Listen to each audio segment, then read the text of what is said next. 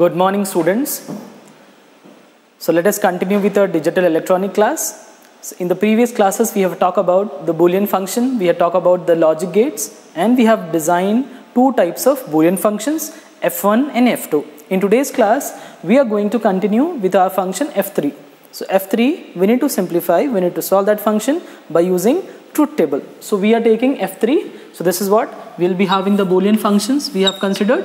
So by using the Boolean function, f3 is given as x bar y bar z plus x bar yz plus x y bar. So this function we need to simplify for truth table. So these three functions, whatever the functions they gave you, that function we can solve by using two methods. One method is by truth table method, second one by using the hardware design. That means by using the logic gates we can do it. So we'll, I'll show you this or four functions based upon logic gates and based upon this truth table. So let us continue with the function. So in that how many variable actually it is? It is since we are using three, three values x, y, z. So this three we are considering and we want to design it. So since it is three inputs, we'll be having x, y, z. The combination for that will be 0, 0, 0. Since it is what? 2 power 0, this is 2 power 1, this is 2 power 2.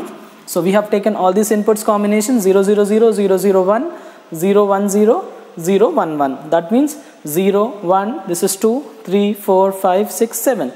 So 1 plus 2 plus 4 make it as 7. So now as per these conditions we required we will be having three terms in it. So we need to simplify these three terms first. For doing this thing what I am doing first thing I am taking x bar. So x bar means it's a complement of x. So what is x value over here is 0 that would be 1. So again it will be 0 this I can make it as 1. Again it will be 0 this will be 1 0 it will be 1. So now 4 times once we had we can write 4 times zeros to it. So we did x bar. Similarly, we need to write for y bar because in the first term we required x bar, y bar. So for that the reason we are going for finding the y bar. So what is y bar value? 2 times 0 that means it will become complement 2 times 1. Again 2 times 1 it will become 2 times 0. Again it will be 2 times 0 it will make it as 2 times 1s. Again it will be 2 times 1s it will become 2 times zeros. So that's how we got y bar. Next thing we need to write for x bar into y bar. So we need to write that x bar into y bar. For doing this thing we need to multiply these two. So 1 into 1 it will be 1. Again 1 into 1 it will be 1. 1 into 0 it will be 0. 1 into 0 it will be 0. This also will be 0. This 1 into 0 it will be 0. 0 into 0 it will be 0. 0 into 0 it will be again 0. Similarly we need to multiply x bar y bar with what is the first term we have? We had Z. So we need to look into Z column as well as this column. So these two columns we have to multiply. So in order to do that one what we are doing? We are taking these two parts. So 0 into 1 it will be 0. Again this 1 into 1. So we are taking Z and this function. It will become 1. So again this 2. 0 into 0 it will be 0. Again the Z into this. 1 into 0 it will be 0. 0 into 0 it will be 0 1 into 0 it will be 0 all will be 0 except this term so we found the first term we simplified similarly x bar already we found we need to just multiply with y so that's the reason the second next column would be x bar with y so we are making column for it so we made it all the columns so now what is x bar value we have this one and we need to multiply with y so 0 into 1 it will be 0 so 0 into 1 it will be 0. Again this x bar and y. So 1 into 1 it will be 1. 1 into 1 it will be 1. 0 into 0 it will be 0. 0 into this number whatever the functions we are using this y bar. So 0 into 0 it will be again 0. So 1 into 0 it will be 0. So 1 into 0 it will be 0. So what we have seen? We have seen x bar and we have seen y. So 0 into 1 it will be 0. Likewise we had next these two columns. This terms completely and this one x bar. By looking into it we can write 0 into 1 it will be 0. Likewise 0 into 1 it will be 0. 1 into 1 it will be 1. 1 into 1 it will be 1. Likewise 0 into 0 it will be 0. 0 into 0 likewise all will be 0 since we are multiplying. So we got the this 2 part we need to multiply that part with z. z means this is the function. So this column and this column we have to consider for doing this thing. So 0 into 0 it will be 0. So 1 into 0, it will be 0. So again we had z. So 0 into 1, it will be 0. Then 1 into 1, it will be 1. Since we are looking into z and this one. Similarly, next would be for z 0 into 0. It will be 0 since all are zeros. So we may get 0. So 1, 2, 3, 4, 5, 6, 7 and 8. So this function also we found. Next we had x and y bar. So we had x function, this column and we do have this y bar. So over here we had y bar. So these two we need to consider. This part and this one. So what we'll do? 0 into 1, it will be 0. So what is the easiest way? Since all fours are zeros. So definitely you will get all will be 0 since we are multiplying. Now we had all four are ones here. So next for y bar. So what is the y bar over there? y bar this 2 is 1 that means next 2 will get 1 because 1 into 1 make it as 1 again 1 into 1 make it as 1 similarly since this 2 y value we had 0 so that would be 0 so we what we wrote it these two are zeros that we written after getting this term 1 plus term 2 plus term 3 we can write the boolean function f3 so that's how we wrote f3 by considering this term 1, term 2, this is our term 1. So by taking this term 1, this is term 2, this is term 3. So addition means if any one of the bit is high, output would be high. So what is the term 1 we had? Here 0 plus 0 plus 0. So obviously it will be 0. Next one 1 plus 0 plus 0. It would be 1. Again this 0 plus 0 plus 0. It would be 0. So we are looking into this column, this column and this column. So next would be 0 plus 1 plus 0 it would be 1 likewise we had next 0 plus 0 plus 1 it would be 1 this also would be 1 now look this term 0 all are zeros so obviously you'll get these two are zeros so that's how your function whatever the function we are considering that f3 functions we have found its truth table method the same designing we can implement by considering its functionality so for doing this thing, functionality, we have to use f3 function and by using the boolean function, we can design it. By taking the boolean function f3, we had the function, we need to write its f4. For writing the f4, first thing we have to take x and y bar. Let us see the functions, boolean functions f1, f2, f3 and f4.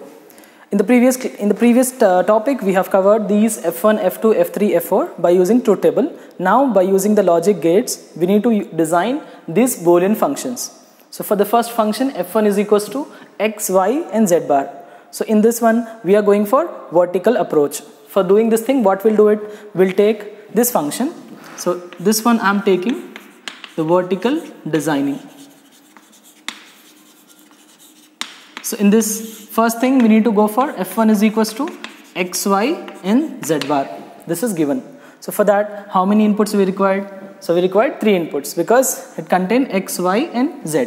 For doing these things, I'll take first input as x, second input as y, and the next input as z. So, as per this z bar, so I need to connect one.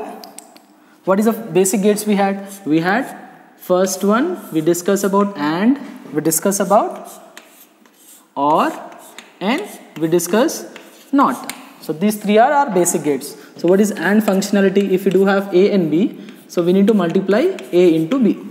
So that is a first AND gate. Similarly, if I do have A and B, so OR gate function would be A plus B. Likewise, if I do have NOT gate, if I'm having A input, I can write A bar.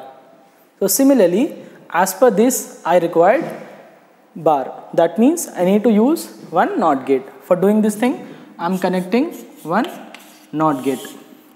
So this is Z, that means this has become Z bar.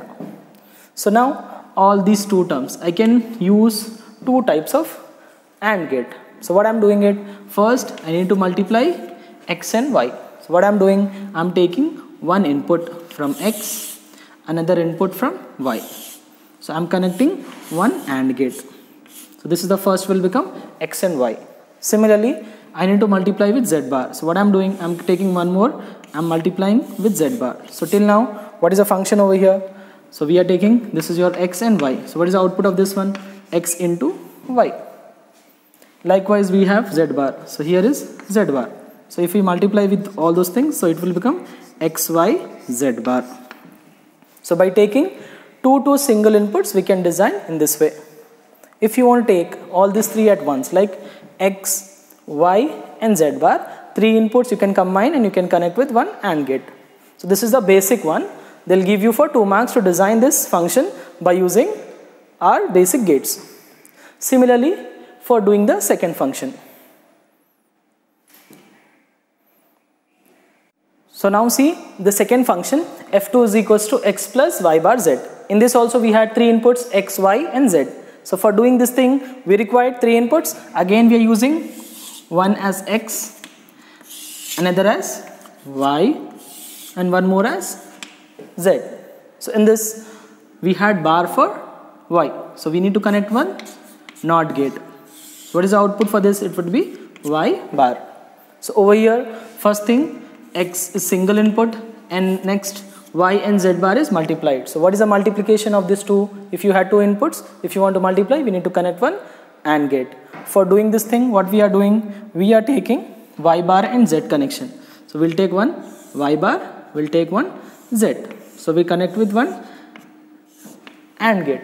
So what is the output for this? We can write as y bar and we can write as z. So now this term is done. Now we need to add. For adding this thing what we have to do?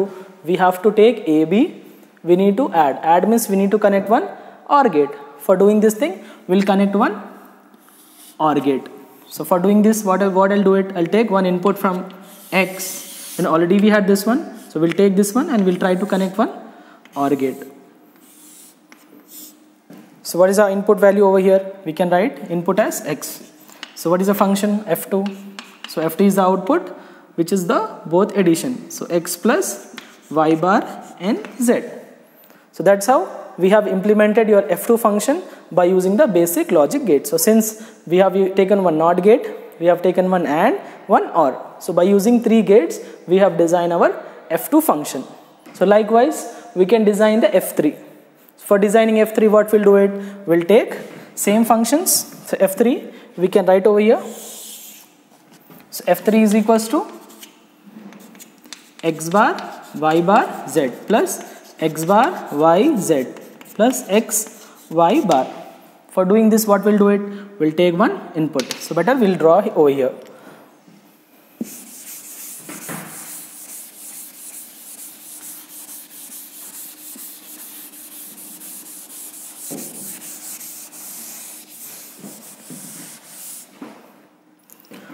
So what is our f3 function? f3 is equals to x bar y bar z plus x bar y z plus x y bar.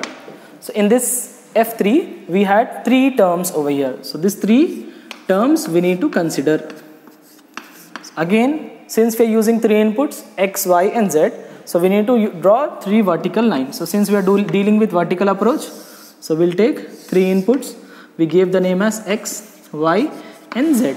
So as per the question we required x bar as well as we required y bar. So we connect with one NOT gate. So in this, so we are using one NOT gate for x bar. Again we are using one more NOT gate for y bar. So this output of that would be here x bar, here is y bar. So in this one what we had? We had three inputs. Three inputs we can multiply. So what is the first connection we should take? we can take from x bar next from y bar.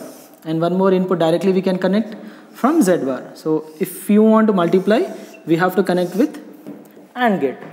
That is the first term. Similarly for second term first input is from x bar. So if you are taking from first input it is x bar. Similarly second is from y. So this is your y connection. Next is from z. So this is your z connection. So by taking these three connections again we can connect with one AND gate. Likewise, we had next term x and y bar. For x and y bar, what we'll do it? We'll take the inputs from x. Again, we'll take from y bar. So this is our y bar. We'll take these two inputs. So we need to go for addition of all. For doing addition, first of all, we'll write its output value till here. What is the value over there? We have connected with x bar. That is the first connection. Second is from y bar. So since it is y bar, so we wrote it y bar. Next is from z. So since this connection is from Z. That is the first input output value for this AND gate. Next would be x bar. So we have connected one x bar. Next is y and z. So this is your y connection. So this is your y. Next is from z. So this is your z value. So z over here. So we need to take from z. So z is from this end. So we have connected and we wrote it z value. So whenever we want to give connection, we need to put a proper knot. Proper dots we need to mention over there. So similarly, we had x value. So x we are connecting here. Next we had y bar. So since we are connecting with NOT gate, so this has become y bar. So till now, we're done with first term, second term and third term. So now we need to club all this. For clubbing this thing, what we'll do? We'll try to connect one OR gate.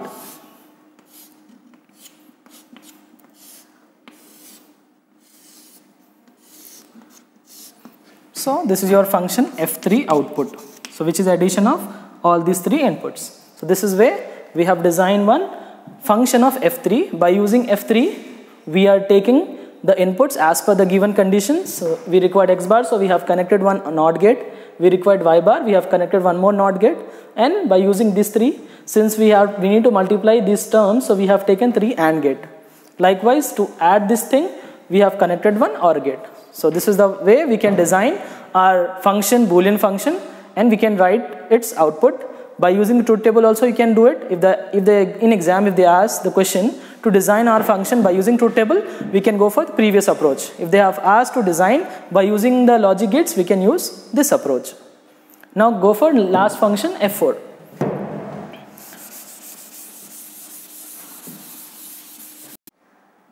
So look at here students, we will be having f4 that is also boolean function. So by using this f4 they gave one expression that x y bar plus x bar z. Again since they have given a z value over here so we have to use three inputs. If at all they gave x y bar plus x bar y then only two variable is enough. So since they gave this z value so we need to use three inputs. So again we are going for vertical approach. So we'll design that layout by giving the term name as x, y and z. So as per this expression, we required y bar and x bar both. So for doing this thing, what we'll do it? We'll take one x bar by connecting one NOT gate. So this is what x bar output. Similarly, you want to get the y bar. For doing this thing, what we'll do? We'll, we'll connect one more NOT gate. So what is the output for this? It's a y bar. Now we need to multiply this thing. So for multiplying this, what we'll do it? We'll connect with one AND gate. So what is the value over here? We had X and we do have Y bar. So we have taken connection, we connected with one AND gate. Similarly, we had the next one X bar and Z. So we take X bar connection and we have taken Z. Again we'll connect with one more AND gate. So we got this term and this term. So what is the output over here? So we can write first one X and Y bar. So this is the output of X and Y bar. Similarly, what is the output for this one we can write? We had x bar and we had z. So we can write x bar and z. So we need to add since the operator over here is plus so that means we need to connect with OR gate. For that one we are taking one two inputs and we are connecting with one OR gate. So this is our function f4. So f4 can be obtained by adding these two. So what is the F4 expression? We can write F4 is equals to or output is equals to x y bar plus x bar z. So your function F4 can be implemented by using this two AND gate and one OR gate. So this is the way you need to design your functions of boolean for given respective functions.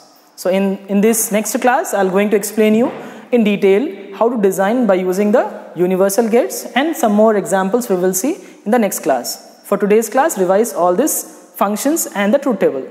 Thank you.